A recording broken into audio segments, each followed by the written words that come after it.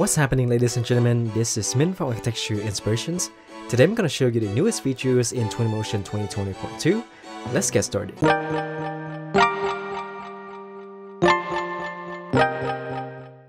Number 1. New Phasing Tool In the new update, Twinmotion now has a new phasing tool. However, the old phases have been renamed as scene states, so your old projects will still work. To use the new phasing tool, go to Media and click on Phasing. Now click on the big plus button to create a new phase. You can see that the new phasing tool is similar to a construction schedule. On the top bar, you can see the date of the schedule, and you can zoom in and out with these two buttons, or change the view mode here. You can also adjust the length of a phase by resizing it. And you can add another phase with this plus button. By default, the start date will be the current date, but if you click on more, you can choose a specific start date. In this case, I don't need it, so I can just turn it off. Now I will select the first phase and use the scene graph to hide everything except the first phase of the construction. Then click on the next one and use the scene graph again to show the second phase. I can also right click a phase and rename it accordingly.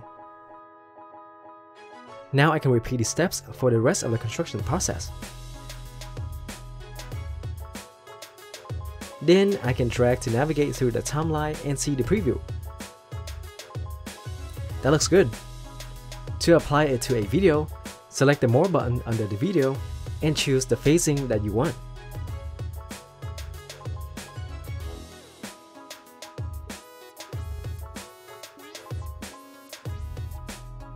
Easy, right?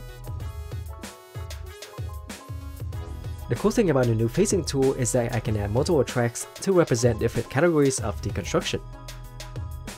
For this phase, I will add a construction vehicle such as this mixer truck here.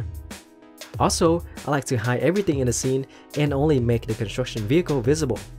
Then I can resize this and position it wherever I want, and this won't affect the construction process that I already have in place. And the cool thing is that this will automatically update in my video as well. Pretty cool, huh?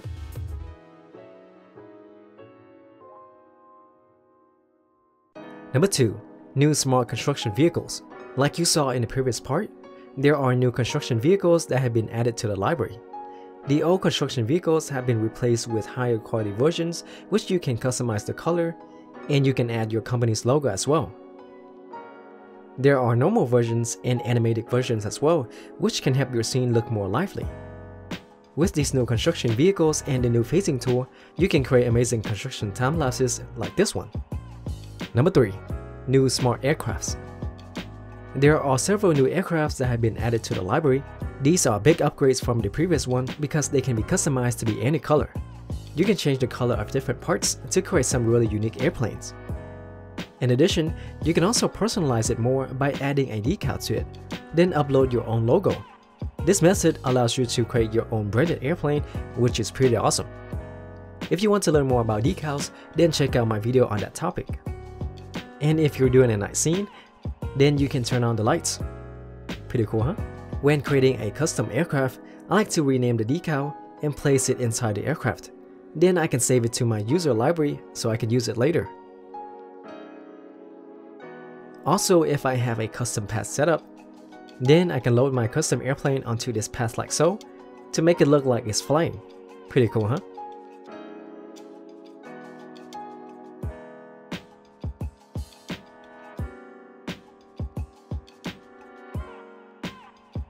Number 4. New Trees The new update has added 15 new trees focusing in the East Asia region. Similar to other existing trees in the library, each of the new trees comes with 4 seasons and 3 ages. With these new trees, you can create the perfect environment for your project. Number 5. Animators In the new update, there are new objects called animators which allow you to link any object to a rotator or a translator to animate your own custom objects such as doors, windows, elevators, etc. Note that there are also presets that are included, such as a roundabout, a lifting barrier, an initial gate, and a retractable bollard. First, I will use a rotator to create an animated door. I will place it at this corner of the door. Now I can click on the link button and click on the door. You can see that in the scene graph, the door frame is now attached to the rotator. Next, click on the door glass to link it as well. The next button is the unlink button in case you want to unlink an object from the rotator. This is basically the opposite of the link button.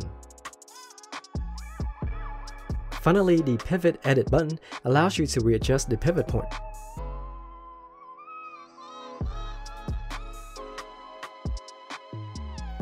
You can see that the object rotates around the blue line, which represents the axis.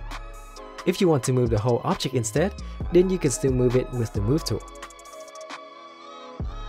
Below you can see the different settings such as speed,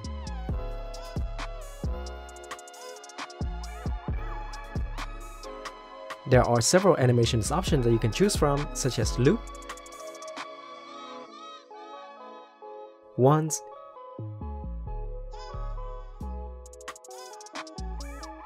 and ping pong. You can also adjust the delay between each repetition here. If I set it to 1 second, then there's a 1 second delay between each repetition.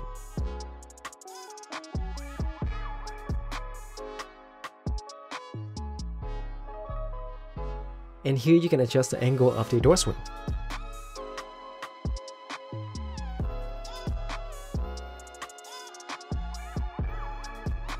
If you click on more, you can choose the axis of rotation.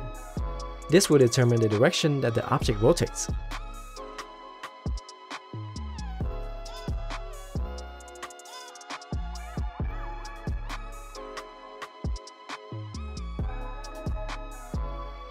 Next is the trigger. If it's turned on, then the rotator will only activate if it's triggered when these objects are nearby, which you can further customize if you like. You can also adjust the trigger zone, which determines the distance where the rotator will activate. In this case, when you come within this zone, the door will open.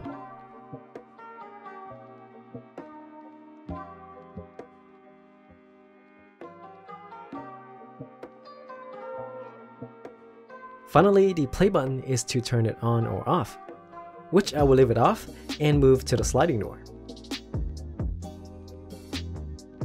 Let's add a translator to this corner of the sliding door. Here you can see the blue line, which represents the axis where the translator will move. But we want it to move horizontally, not vertically, so I can press tab to go to the rotate tool and rotate it 90 degrees like so. You can select the rotate tool here as well. Next, we need to link the door to the translator. But if we look at the scene graph, you can see that the door has lots of parts. So instead, we can move the whole folder inside the translator. And that looks good.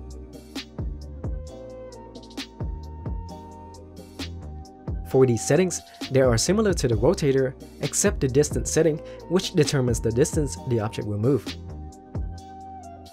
There we go. With this in mind, you can create an immersive environment when doing walkthroughs with your clients.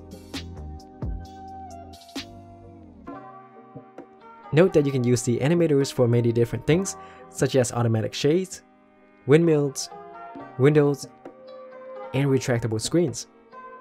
Number 6. Parametric and interactive doors. Instead of manually creating interactive doors with the animators, you can use one of the doors in the new collection of parametric door assets. These include single doors, double doors, sliding doors, and pocket doors. First, I can delete or hide the existing door, then drag one of these parametric doors in its place. The cool thing is that the door will automatically fit into the existing opening. Alternatively, you can adjust the width and height of the door in its settings. In addition, there are several styles that you can choose from. All of these can be customized even further. If you click on more, you can choose the handle style, turn hinges off or on, and choose the casing style. You can even adjust the width and thickness of the casing here. Next, you can choose the behavior of the door which determines whether the door is open, close, or trigger. This means that if I move closer to the door, then the door will automatically open. Similar to the animator, you can customize the trigger radius, the trigger type, and the delay. Next, you can choose whether the handle placement is right-handed or left-handed. If you click on more, you can choose the direction of the door swing to outward or inward.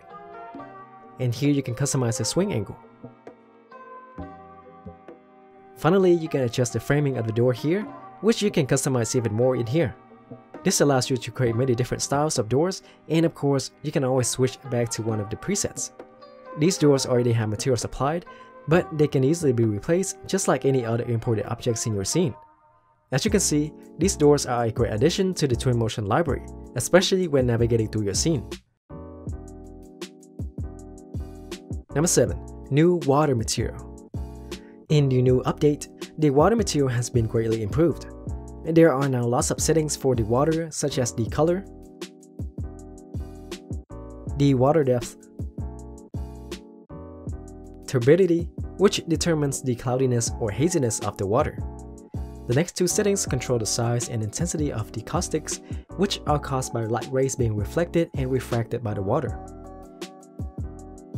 There are also many settings to control the waves, such as the amount, the wave size, the flow direction,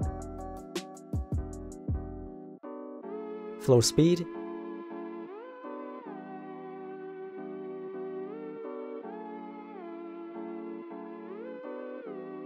and wind gusts.